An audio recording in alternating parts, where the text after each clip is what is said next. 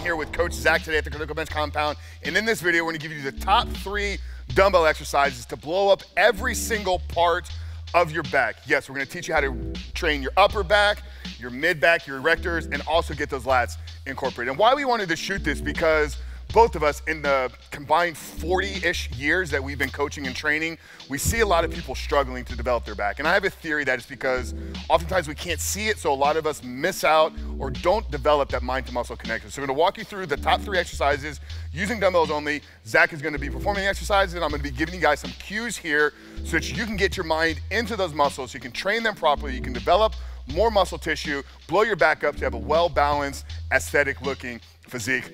Let's get into it. All right, guys, so the first movement that we're gonna be doing here is going to be a lying dumbbell pullover. And a lot of people will do pullovers for their back, and there's also a way you can utilize them to train your chest. In this demonstration, we're gonna be doing back only. So Zach's got his dumbbell here. He's using a 60 pound weight, which is a good solid weight for him. Make sure that you test this out and you master the exercise before you really try to dive into maximizing the weight. So Zach is laid down here. He's got his feet planted securely on the ground, touching the uh, bench with his upper back and also touch point here down at his glutes. He's got a little bit of arch in his, in his mid back, lower back here. And he's gonna start by lowering the weight down, really getting the stretch in these lats. This is really where that tension is gonna start to be created.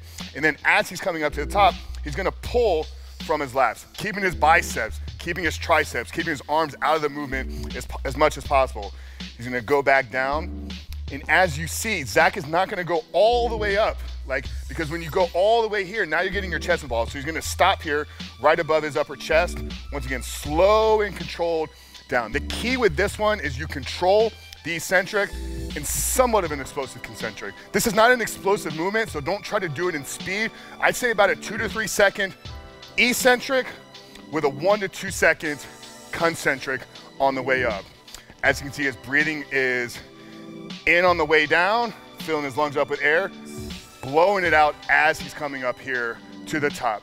Guys, eight to 10 reps, really working those lats through their entire range of motion, really gonna blow that up. And in my opinion, if you're doing these exercises together, this is the one that you're gonna wanna start with because you're gonna get full activation, get the blood flowing into those lats. It's gonna set you up to get the most out of the next two exercises we're gonna jump right into right now. Awesome, so now that we got our lats fully activated and we got some blood flowing through that entire back. Now we're gonna get into training the mid back here. So Zach's gonna turn around, we're gonna focus on these spinal erectors, really the, the muscles that are gonna support the spine, really make sure that you're standing up tall and secure is also gonna help brace your core as well. So Zach's gonna grab his dumbbells, we're gonna do a two, two-handed dumbbell row. So first he's gonna start by having his feet placed securely on the ground, a good bend in his knees, and then a bending at the hip. You bend at the hip by driving your glutes back. Don't round your back forward, drive those glutes back so you can keep a neutral spine here. And then he's gonna row, keeping his elbows close to his body, squeezing that middle of his back.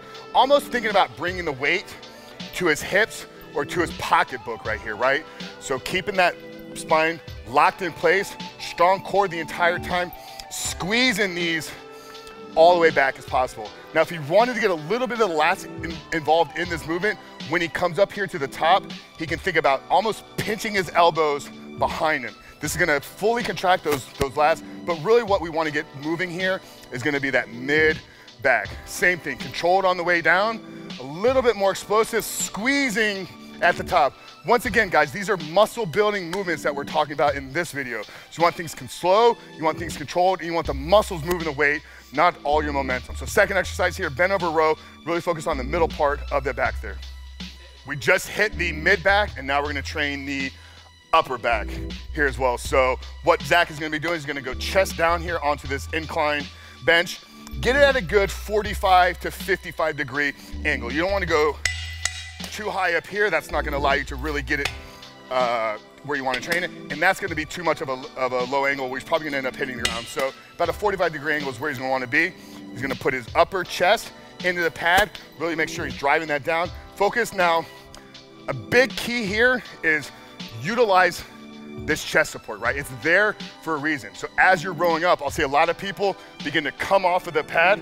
The better that you can get at creating force in the opposite direction, there's a concept known as force counterforce. So as you drive forward, you're actually able to create a deeper or more force through the back by driving your chest into the pad. So Zach is gonna row, elbows out, the key that we want to be thinking about here, and this is really across the board with everything you do in your back, the angle at which your upper arm moves is going to give you a clear representation of the part of your back that's trained. So as Zach is rowing with his elbows out, clearly see all these muscles here in his upper back are getting turned on. Whereas when he was rowing for the lats or for the mid back, he was much more closer to his upper body. So the angle of your elbow, the angle of your arm is really gonna dictate which part of your back is moving. So he's driving his chest into the pad, squeezing at the top, really blowing up those rear delts, those teres majors, getting a little bit of the, a lot of the traps involved in this movement as well.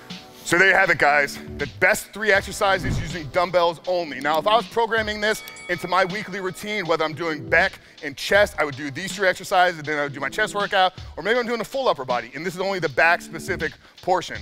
But model the program in the way that we did it here. Start with the lat pull downs or lat pull over first, go to your bent over, and then finish with the chest supported. But it can be done on a back day, all by itself, very quick, 15, 20 minute workout. You can pair this with upper body, chest, arms, shoulders. But in my opinion, doing it in these program way that we gave you here today is going to be the best way to get the most out of every single one of these exercises. So Coach Frank, Coach Zach at the compound, we love you guys. We'll see you in the next one.